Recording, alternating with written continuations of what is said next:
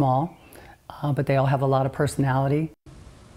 Richmond tours are happening Tuesday through Friday. You can learn more at vagardenweek.org. And later this morning, we will be giving away a pair of tickets to a tour for this Wednesday. Stay tuned for your chance to win.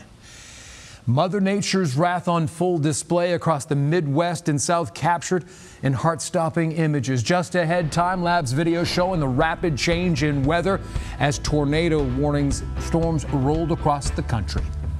Mike.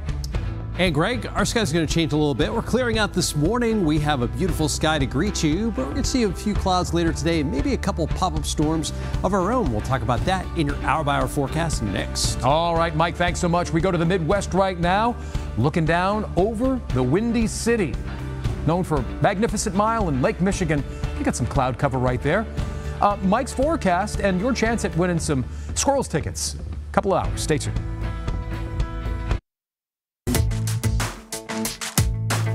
And welcome back at 611. A severe storm system swept across the south and Midwest on Saturday, bringing warnings of tornadoes across Missouri, Louisiana, and Arkansas, and at least one reported possible tornado in Illinois. Look at this video. This is incredible. Time lapse video taken in St. Louis captures the significant change in weather all in just a few minutes as the storms rolled through, worsening as tornado sirens rang across the city. Something you do not want to hear, Michael. No, we actually had a few little severe reports north of our viewing area yesterday, and then here's the swath of severe weather from yesterday and those possible tornadoes kind of right near the Illinois-Missouri border. A little piece of that system, what's left of it, is going to come through here late today. It's going to be a much more benign form. We may see a couple thunderstorms later today into this evening, but check it. Out that shot. This is incredible. The waning crescent moon, baby. We're heading towards a new moon on Tuesday, despite the Duran Duran song. I believe it's, I believe it's Tuesday this week. uh, so that, and we had the Lyrid meteor showers this week and whatnot. I just have a question. What's that? Are you hungry like the wolf? Oh, I am. uh, right now, we have a clear sky and sunrise is just about 21 minutes away. It's going to be a nice looking morning. We'll see a little increase in clouds during the day today. It's currently 57 at the airport right now. Winds are out of the south southwest at 5 miles an hour. We continue having some pretty delicious dew points. You know, a few days ago, it was pretty humid with those highs in the upper 80s, and the air has been actually fairly comfortable, and dew points will stay in the 50s for a good chunk of today. We have high values of tree pollen and grass pollen as well. And even though we had some rain the past couple days in some areas that washed the air out a little bit, but yesterday, not a lot of rain in Richmond in and of itself. So uh, the pollen continues to rage on. I have a few spots near 60 right now, but a lot of us are down into the low to mid to upper 50s. We continue with that southwesterly wind, so it's still going to be another warm day today with high temperatures getting into the low and mid 80s. But here's the cold front near Chicago. This is what caused the severe weather yesterday. And notice behind it, it is significantly cooler with temperatures in the 30s and 40s. Not going to get as cold as the low 30s here, but we'll see a definite downturn in temps for Monday, Tuesday, and into Tuesday night. This part of the front brings the chance of a few thunderstorms here later this evening, like after about 9 o'clock. Ahead of it, there will be a few little isolated showers and storms. These that are out here towards the west, a lot of these are going to fade away, but some of this cloud cover will continue tracking eastward. So we'll have some sunshine with increasing clouds today. We're starting off with a clear sky. During the day, clouds will increase. We'll have high temperatures this afternoon, getting into the low and mid 80s, even a few spots upper 80s. Maybe a pop-up shower or thunderstorm by mid to late afternoon. A better chance, though, as we go in towards the evening hours. In fact, after about 8, 9 o'clock, that's when our chance of rain really goes up. But a lot of these showers and thunderstorms will start to fall apart as we get towards central Virginia. So we're not looking at a high chance of storms here near I-95 and points east, where the better chance of storms will be in western Virginia today. For this morning, we're talking about some 50s to around 60. Tomorrow morning, we'll have some 40s and 50s across the area. And then for the day tomorrow, getting into the upper 60s and low 70s. Uh, those storms that come in later today, mostly the ones this evening, could have a few stronger wind gusts. So we'll keep an eye on that. But the risk of severe weather is actually pretty low. For today, 85, then 73 tomorrow, a bit breezy, and even some gusty winds on Tuesday. Tuesday night and Wednesday morning, some 40s with some 30s north and west. But then just as we cool down, we warm back up into the mid 80s later this week. Maybe a shower Friday, a better chance next Saturday. Greg. All right, Michael, thank you so much. It is 614. No need to get up and walk to a trash can in the Big Apple. Now, they come to you. Why these robotic trash cans have been unleashed upon New York City and what we're learning from the cans themselves. Plus, mm, don't look down. Taking to the sky for some high flying stunts.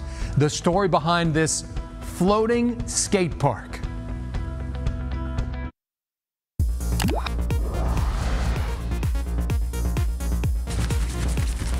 Are you ready? Are you excited? I'm ready. Both of us went and got haircuts yesterday. I went in and I said, my friend will have something of equal or lesser value, and here we go. Let me tell you. I don't know. We have the same barber, Miss Leanne. So, Miss Yeah. Leanne, thank you. I, who's? We'll have to have a poll. Who's? Who's? Who, who looks more real? That's the poll. She does so good with the glue. Yes. Setting it on. All right, listen, I, we, we digress. right. From the high flying extremes to adorable baby animals, we have everything you can want because it's part one of Hey, Watch This. There are skate parks, and then there's this. British BMXer Kriss Kyle took his skills to the sky in a death defying feat, riding in the world's first floating skate park. The project took nearly three years, but the final product was a carbon fiber BMX bowl. Suspended 2,000 feet in the air by one of the world's largest operating hot air balloons. Uh, after practicing on land, Kyle took his skills to the skate park in the sky over England, wearing a heavy parachute, fighting against a bouncing, rocking balloon, and cheered on by his friends in the basket. At least there's one Luftballon. Oh, my word. Well, the beverage company that sponsors that, if Yeah. you saw it on the side of Yeah, the balloon, it says, gives you wings. You're going to need it, especially at that skate park. I gotta go skate park. I gotta go. I gotta go. in a place like New York City, it's not really hard to feel like uh, you may be being watched, but what could be watching you may surprise you. Check this out. Researchers from Cornell University, they're unleashing two robotic trash cans equipped with 360 degree cameras on the city to study how people interact with autonomous everyday objects in public. Captured footage shows people being welcoming towards the robots, a woman helping one when one gets stuck, and a man rewarding the trash can for moving towards him with a good boy, as well as reacting negatively. One person just calls the robots just creepy. They want to throw their trash away themselves. Researchers say, in general, the robots encourage social interaction among strangers and that people felt pressured to uh, generate garbage for the robots and, and feed them. Now, if we could get the robots to actually pick up the trash in the roads, that would be great. Yeah, that woman seemed to like it, but there's a witness on scene, Nathan Johnson. He said another guy hates those cans. He hates those cans. If you get that, please email us and let us know. Just is need a this glass and this lamp. That's all I need. that's old school, man. In Pennsylvania, the South Park Game Preserve has welcomed a new member to its family. This is a oh. baby bison, and it's the newest addition to the herd. It was born at the beginning of April. The new arrival was celebrated by the parks, encouraging people to visit the reserve and take photos of the calf. The footage shows the not yet named bison calf suckling from its mom and being cleaned by members of the herd. And according to local news reports, the bison have roamed the South Park Game Preserve since the 1920s. Incredible. I was looking at the National Park website about bisons. They can live like 25 years in captivity. And, and really, they say bisons do not make good pets. And oddly Duly enough- noted. Oddly enough, they have robotic trash cans there too. Time now for Pause for Pets. Here's Goldie.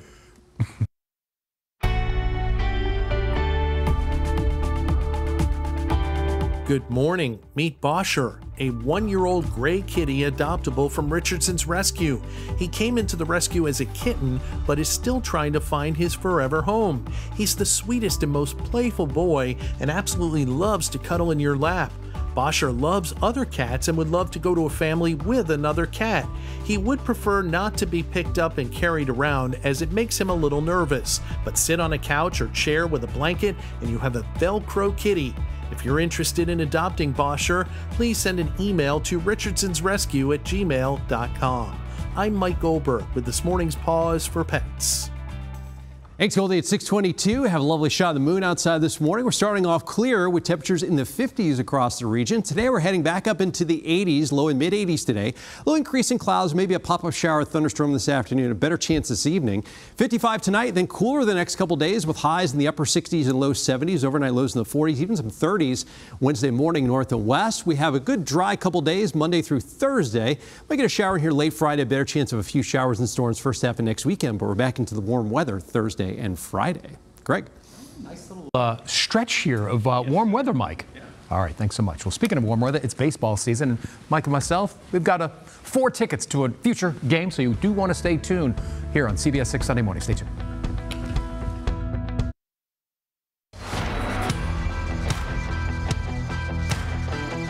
The Loyalty Automotive CBS 6 Sports Desk.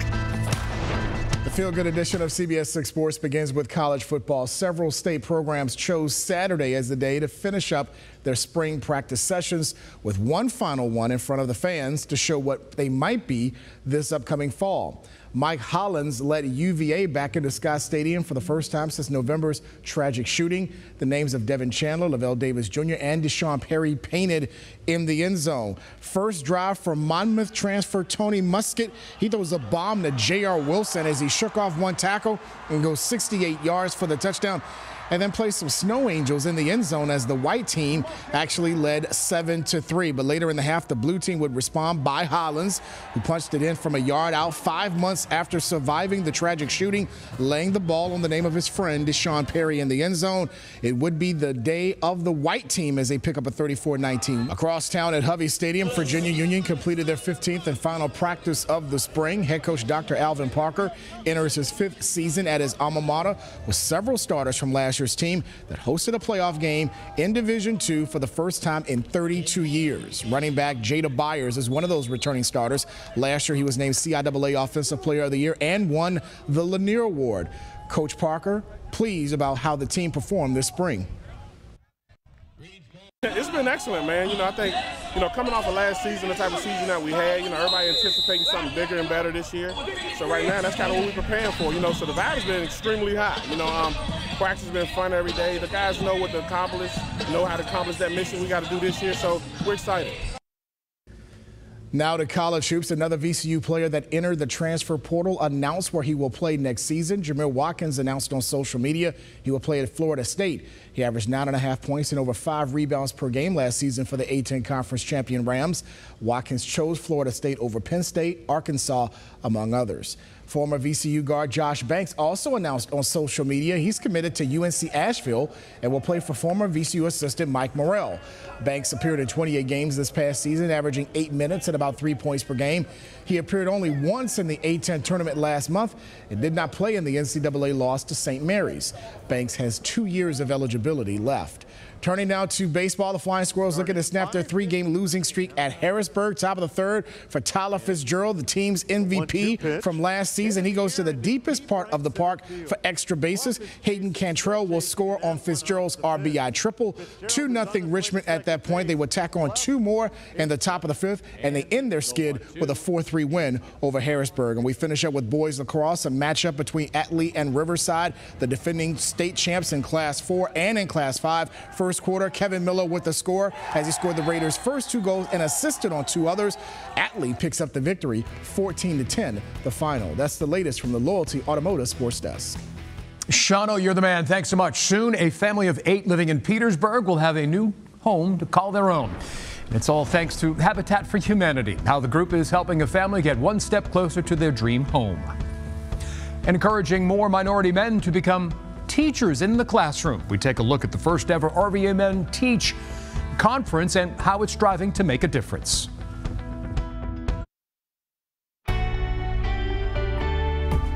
This is CBS 6 This Morning Weekend. Showing up to support victims of crime in Central Virginia with a 5K and resource fair. Why the Richmond interim police chief says it's critical to be a resource and a friend. Highlighting the important impact of minority male teachers on students in Richmond through RVA Men Teach. Why one person says teaching is one of the best ways to make a big difference in the world. Demolishing a blighted house to make way for the home of a family and their dreams. The hard journey to their new home. 631, welcome back to CBS 6 Sunday morning. Greg and Mike helping start your day. Thanks so much for joining us. Mike, uh, I cannot believe we're already the 16th day of April. We yeah. are just motoring. And I got to say, the last few days or so, last week, feeling more like June. Yeah, uh, it's going to feel another kind of like summer-like day today. Yes. It's going to be a little bit cooler for tomorrow and Tuesday. Uh, but if you don't like the cooler weather, the warm air is coming back later this week. Well, I'm schwitzing. I schwitz when it gets over 70 degrees. So essentially, once you get past February, uh, I get a little bit damp. Uh, but with the way this winter was, man, it was a warm winter. But see there, that's our sky tracker cam looking over downtown. That little thumbnail that you see there, that is the last little sliver of the moon. It's a little jet trail in the sky there as well. So we're getting up to clear sky now. We have temperatures in the 50s, but it's down to 52 in Emporia. It's 57 officially at the airport, 53 in Farmville. And as we take a look at the 24 hour temperature change, we're down at least a couple degrees. Areas like Emporia, though, down about 10 degrees versus this point yesterday. We had some showers and thunderstorms yesterday into last night. Those have moved on out. It's clear right now. We are going to see a little increase in clouds during the day today. There may be a pop-up shower or thunderstorm this afternoon in a few spots. That chance goes up after about 5, 6 o'clock and even more so after about 9, 10 o'clock. So our best chance rain is going to be late this evening, but we may get a pop-up storm this afternoon and highs getting into the low and mid 80s. For tomorrow and Tuesday, it's going to be a little bit cooler. In fact, Tuesday night is going to be kind of chilly, but we have another, another warm up in our seven day forecast. We'll talk about that coming up. Greg? Michael, thank you. A crime alert this morning out of Chesterfield County where police are investigating a shooting in the 3200 block of Meadowdale Boulevard. Police say reports of a shooting came in about 1040 Saturday night. The scene was found but no victim. A juvenile victim was later located at a hospital with serious injuries. Police say right now they do not have any information on a possible suspect. If you do have any information, you can call Crime Solvers anonymously at this number, 804 748 0660. Virginia State Police are investigating following a deadly officer involved shooting in Amelia County. The Amelia County Sheriff's Office was called to a home in Poorhouse Road about 8 Friday night to take 45 year old William Harver Sr. in on an emergency protective order. Police say Mr. Harver then barricaded himself inside a shed at the house and fired a shot. The VSP tactical team was called out in over seven hours. They worked to try to negotiate a peaceful surrender. After 3 a.m., troopers say Harver came out of the shed with two handguns pointed at the troopers. The troopers fired their weapons and Harver was shot and killed. No officers or troopers were injured. The troopers involved have been placed on administrative leave during an investigation. In Harrisonburg, the Rockingham County Sheriff's Department is investigating a shooting that leaves two people dead. It happened at apartments popular with students off James Madison University's campus. Police were called to Newberry Lane about midnight for shots fired. Investigators say two young men were shot and killed during a party. The victims are 22-year-old D'Angelo Gracie from Rocky Mount, North Carolina, and a 17-year-old from Harrisonburg. Neither are students at JMU. The investigation is ongoing and police are still looking for a suspect. Police do not believe there is a threat to the public. The last week in April is National Crime Victims' Rights Week, and Richmond had a bit of a head start as runners gathered for the SOS Show of Support 5K.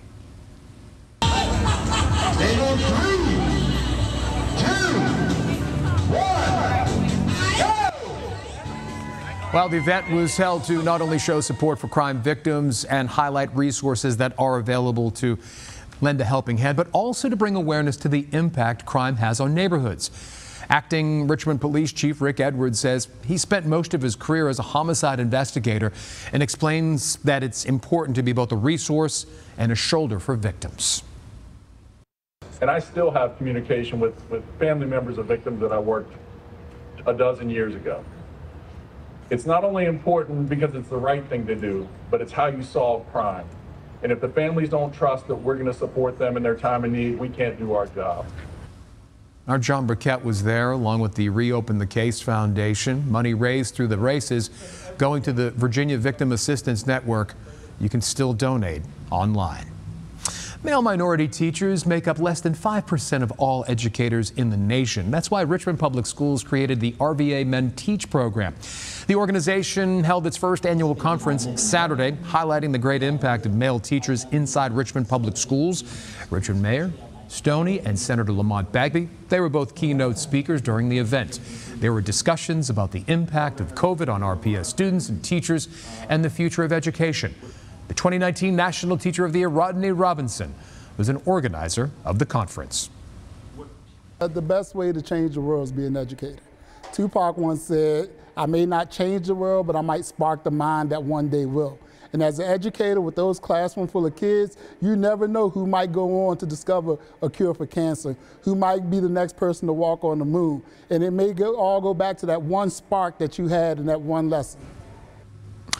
The conference also featured a teacher hiring fair. Right now, RPS is offering bonuses of up to $12,000. If you're interested, you can apply at rvaschools.net.